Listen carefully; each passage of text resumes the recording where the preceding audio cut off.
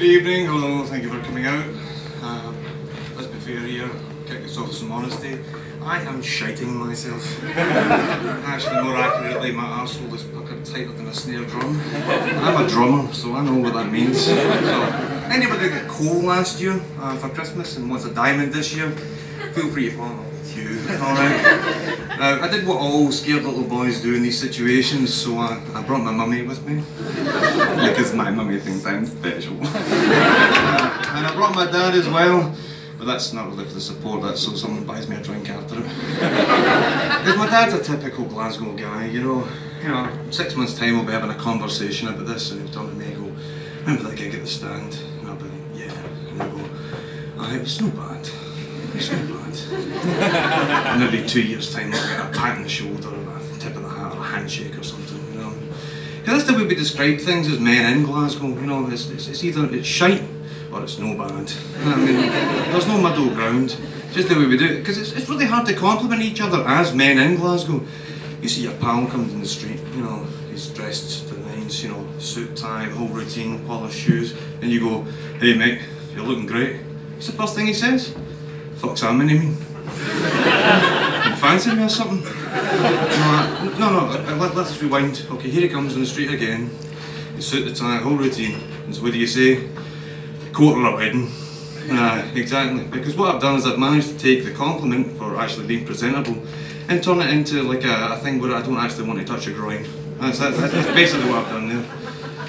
And that's, that's, that's how we talk to each other as Glasgow people. You know what I mean? So that's where it comes from. Everything's no bad or it's shite. You see the new Terminator film? Oh, it was pure shite. Oh, it was unbelievable. It was ridiculous.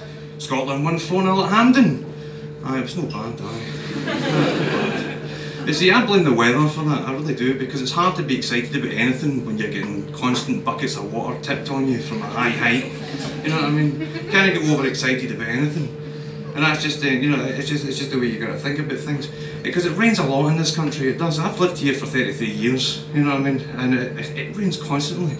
You know, it's why we're the country that made Noah's Ark look like a, a story that was written by a young boy, you know? You know, an nine-year-old boy. And all the animals got on the big boat to escape the bad water that was made from 40 days and 40 nights.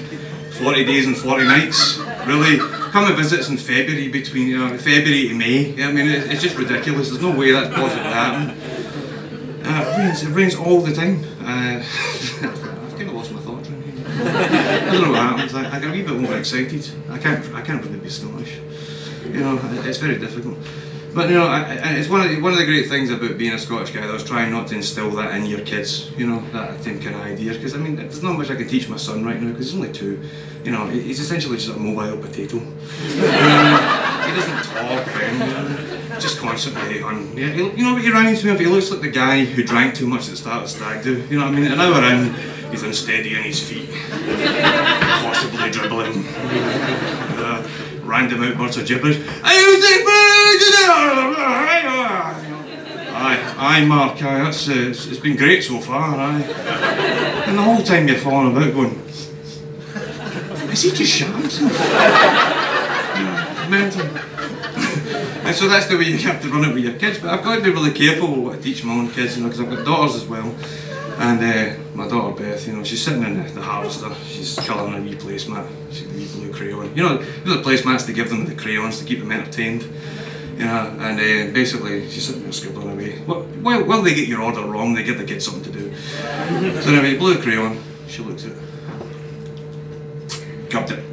Straight down. I went, okay, what have I been teaching this kid? So I said to her, the hand there. She goes, well, I wanted to see what blue tasted like. and now I'm sitting here going, have I told this kid you can taste colours? oh, she already got the yellow, red and green one when I wasn't looking. anyway, the way that we describe things, if it was no bad or it was shite, it's up to you guys. But thanks very much. I've been Lenny Hastings.